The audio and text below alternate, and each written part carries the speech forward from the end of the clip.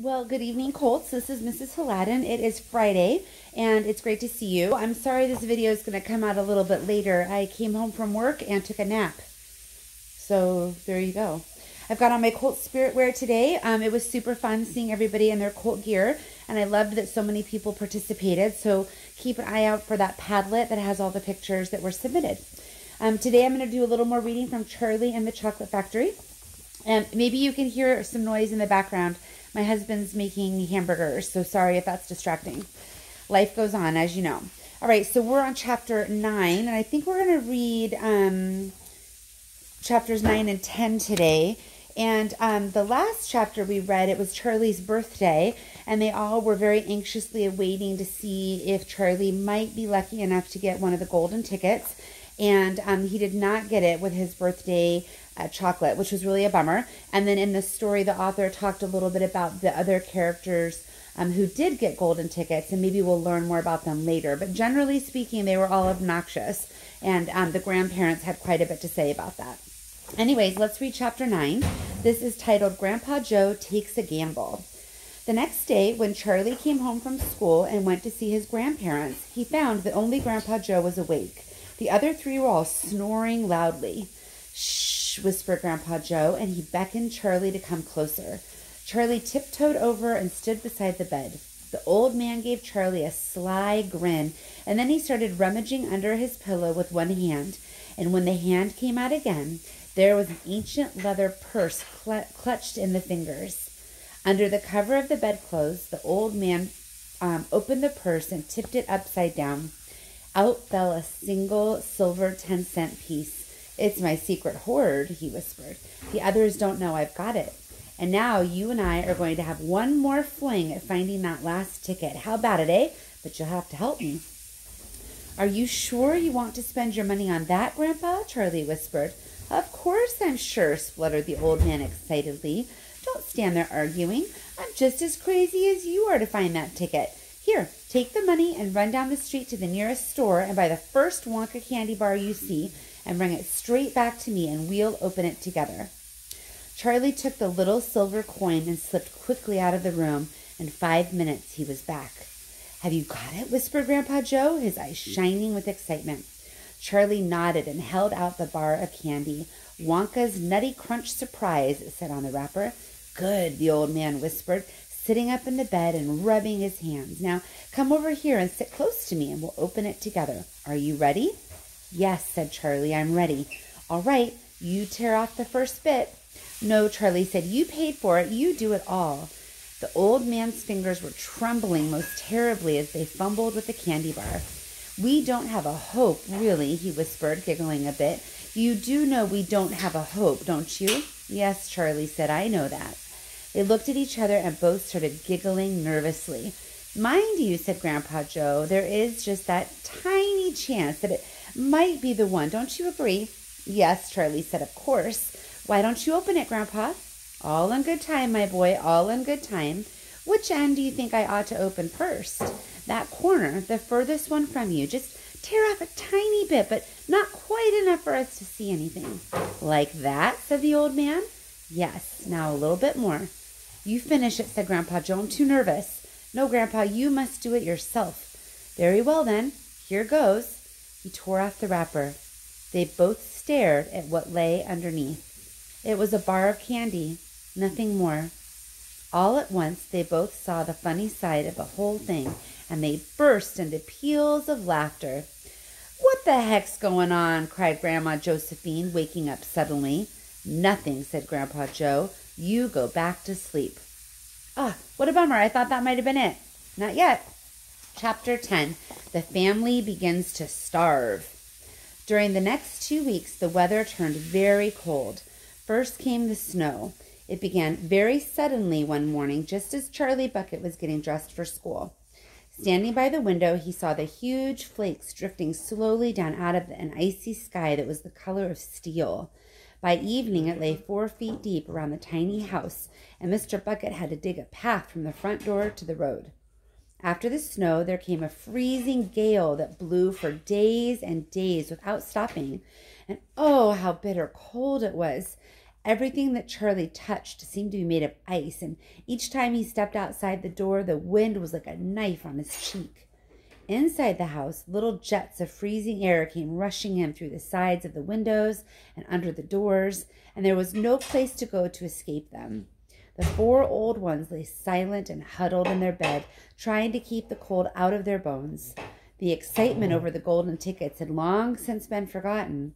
Nobody in the family gave a thought now to anything except two vital problems of trying to keep warm and trying to get enough to eat. There's something about very cold weather that gives one an enormous appetite. Most of us find ourselves beginning to crave rich, steaming stews and hot apple pies and all kinds of delicious, warming dishes. And because we're all a great deal luckier than we realize, we usually get what we want or near enough. But Charlie Bucket never got what he wanted because his family couldn't afford it. And as the cold weather went on and on, he became ravenously and desperately hungry. Both bars of candy, the birthday one and the one Grandpa Joe had bought, had long since been nibbled away, and all he got now were those thin, cabbagey meals three times a day. Then all at once the meals became even thinner. The reason for this was that the toothpaste factory, the place where Mr. Bucket worked, suddenly went bust and it had to close down. Quickly, Mr. Bucket tried to get another job, but he had no luck. In the end, the only way in which he managed to earn a few pennies was by shoveling snow in the streets, but it wasn't enough to buy even a quarter of the food that seven people needed. The situation became desperate. Breakfast was a single slice of bread for each person now, and lunch was maybe half a boiled potato. Slowly but surely, everyone in the house began to starve. And every day, little Charlie Bucket, trudging through the snow on his way to school, would have to pass Mr. Willy Wonka's giant chocolate factory. And every day, as he came near to it, he would lift his small, pointed nose high in the air and sniff the wonderful sweet smell of melting chocolate. Sometimes he would stand motionless outside the gates for several minutes on end, taking deep swallowing breaths as though he could eat the smell itself. That child, said Grandpa Joe, poking his head up from under the blanket one icy morning, that child has got to have more food. It doesn't matter about us. We're too old to bother with. But a growing boy, he can't go on like this. He's beginning to look like a skeleton. All right, here's a picture of, I think these are the doors of the Wonka factory that Charlie was stopping by on his way to school. They're very ornate and fancy.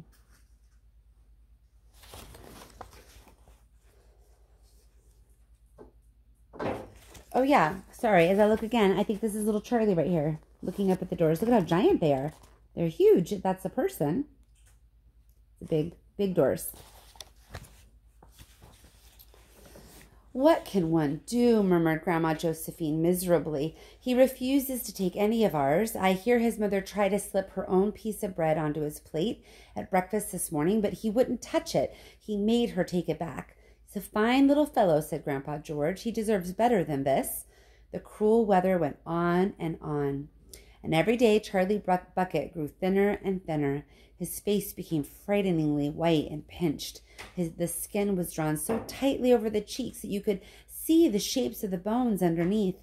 It seemed doubtful whether he could go on much longer like this without becoming dangerously ill.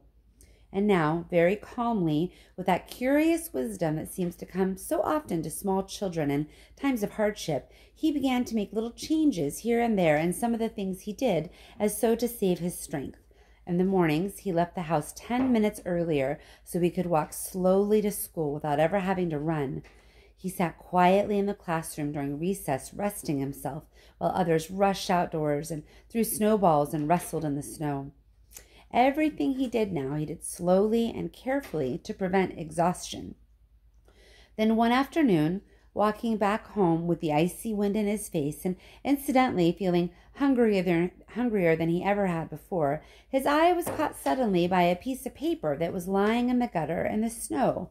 The paper was of a greenish color, and there was something vaguely familiar about it. Charlie stepped off the curb and bent down to examine it. Part of it was buried under the snow, but he saw at once what it was. It was a dollar bill.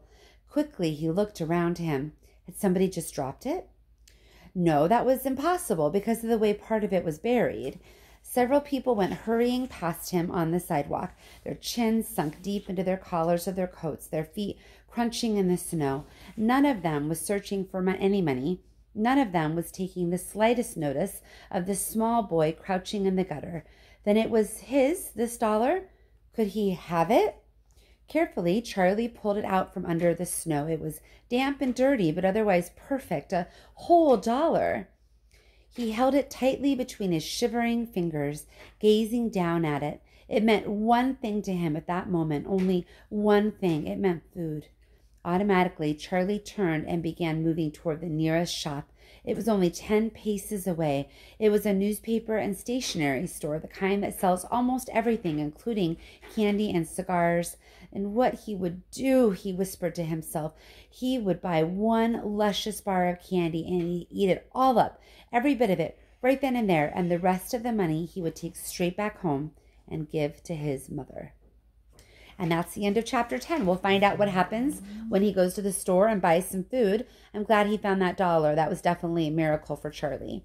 All right, friends, I hope you have a really great weekend. I plan to continue to read over the weekend, so be sure you check back for more stories from Charlie and the Chocolate Factory. Take care, friends. Happy Friday. Bye.